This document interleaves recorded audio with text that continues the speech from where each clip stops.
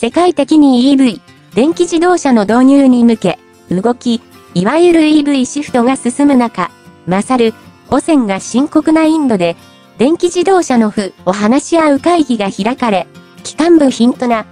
電池の開発や充電スタンドの整備などに、民挙げて取り組んでいくことを確認しまった。インドでは、急速な経済成長に、つ、車の数が増え、大気汚染が深刻にな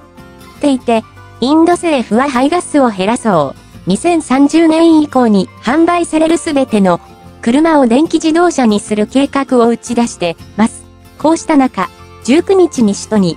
アデリーで電気自動車の普及を話し合う議が開かれ、国内の自動車メーカーのニナ社や政府関係者らおよそ200人が出席ました。この中で、政府系シンクタ、区の幹部が講演し、インドでは、自動車業が経済成長に大きく貢献しており、電、自動車の開発は雇用の拡大にもつながる、と述べて、普及に期待を示しました。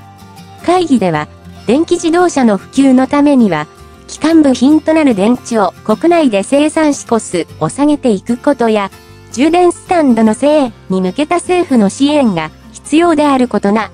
が指摘され、今後、官民挙げて取り組ん、行くことを確認しました。インドで、ヨタ自動車と、鈴木が202年、ロに電気自動車を投入することを目